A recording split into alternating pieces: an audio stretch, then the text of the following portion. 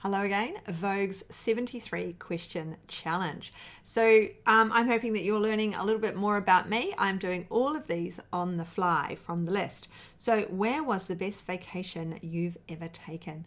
Um, I've been on so holidays, I have been on tons of holidays. Probably 2019 was. Um, the most recent best one, and that we were in Europe and we had six weeks in Europe before sort of the world closed down.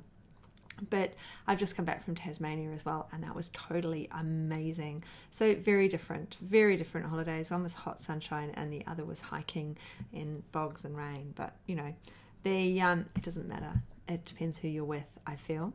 And what's one city you've always dreamed of traveling to? I would love to go and spend time in the Nordic countries, you know, Iceland, all the way, all of those ones sort of up there. As for cities themselves, I don't really know. Um, I'd, I'd find that city, wouldn't I?